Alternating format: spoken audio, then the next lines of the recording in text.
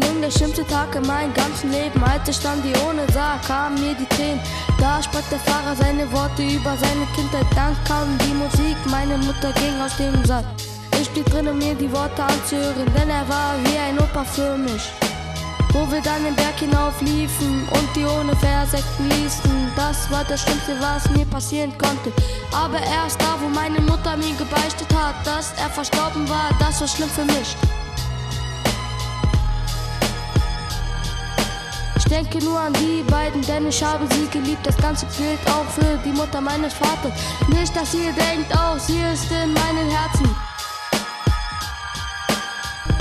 Die beiden habe ich geliebt, denn sie waren Oma und Opa für mich.